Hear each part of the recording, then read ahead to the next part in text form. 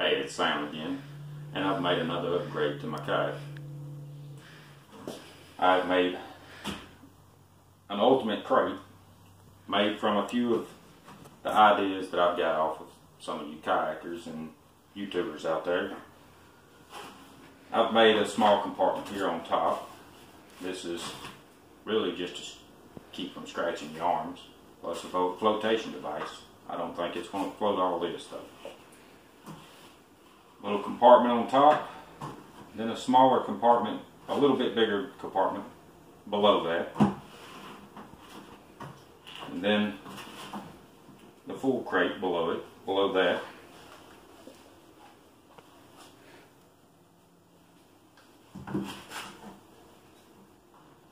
I made these two latches right here from one inch PVC pipe and they're just zip tied, zip tied in. I dremelled them out at an angle and then made it where my cord would go right inside the groove there.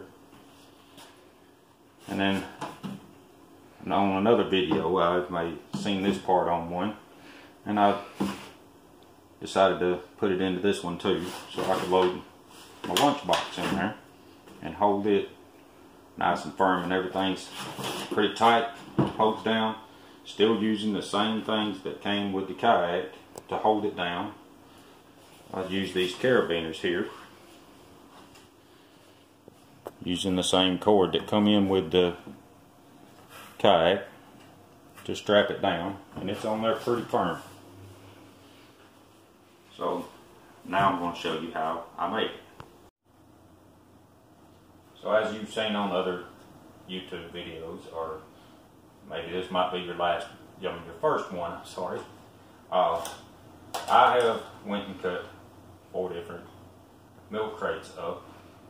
This is going to be my top. All I did was cut across the top, just I mean across the bottom, just below, just above the solid piece here, making about an inch and a half, two inch compartment. And I took on the second one, I just cut the half top, half the top off and then my full milk crate and then just cut this one down the middle to make my piece to go on the front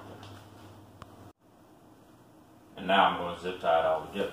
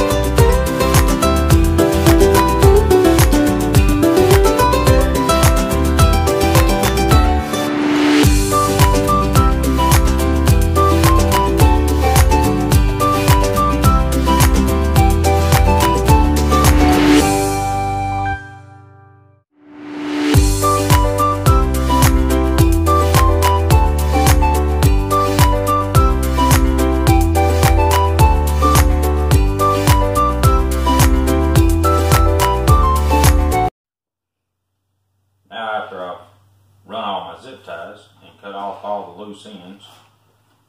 Now I'm going to show you how I did my latches. I took these one inch pipe, PVC pipe, and I've dremelled down and cut a angle out of one end and a groove in the top end for my cut cord to go in. All I'm going to do is on this first latch They've been fitting in there pretty snug. And then you get it turned the right way and run a zip tie through it.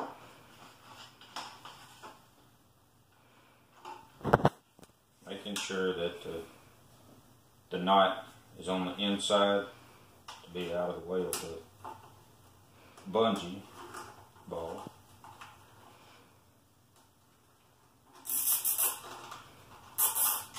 So you come at the bottom of it, not at the top.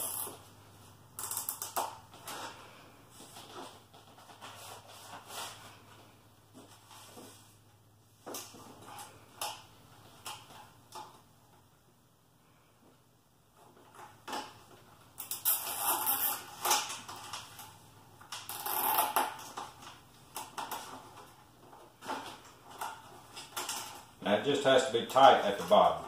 At the top, it doesn't don't have to be pushed in there.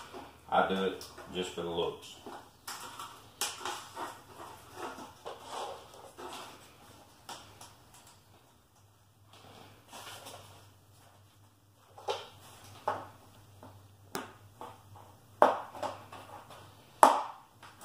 You do want it to angle down.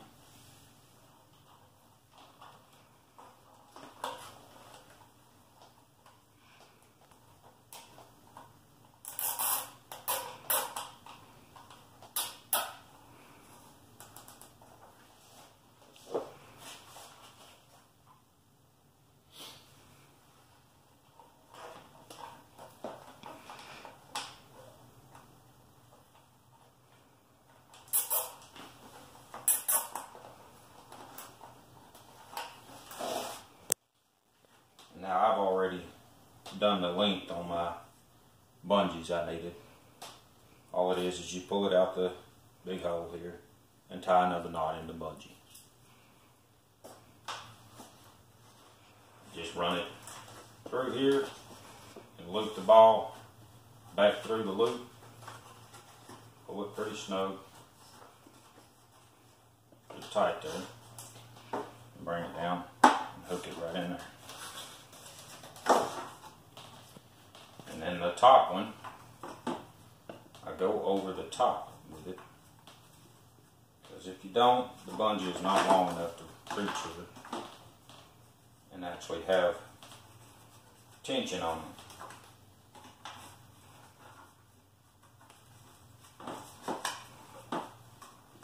And this cord will be co- covered up also with the insulation, PVC insulation. That'll go over the top here. There we go.